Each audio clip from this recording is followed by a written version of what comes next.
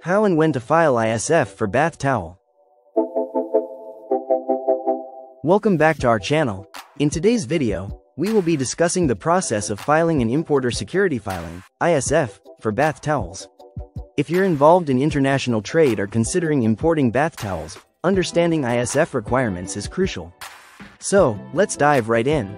Before we delve into the specifics of filing an ISF for bath towels, let's quickly touch on what an ISF is and why it's necessary.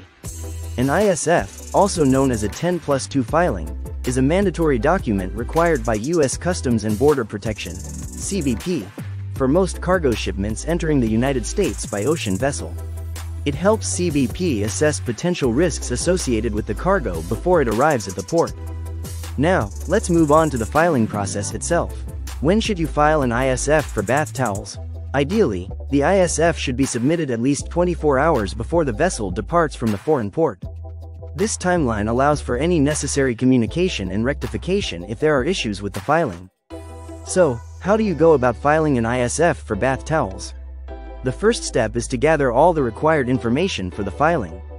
This includes details such as the manufacturer, seller, buyer, country of origin, HTS code, and container stuffing location. Once you have this information, you can proceed with filling out the ISF form, either electronically or through a customs broker. When completing the ISF form for bath towels, accuracy is key.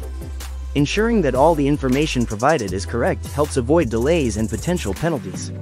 It's important to note that even if the shipment is exempt from duty, an ISF is still required. Now, let's discuss some specific requirements when filing an ISF for bath towels. One important aspect is the identification of the correct harmonized system, HS, code. The HS code determines the classification of the product and helps CBP in assessing any applicable duties or quotas. It's crucial to choose the correct HS code to avoid potential issues. Additionally, when filing the ISF for bath towels, another requirement is providing accurate container stuffing location information. This means specifying the name and address of the facility where the bath towels are loaded into the shipping container.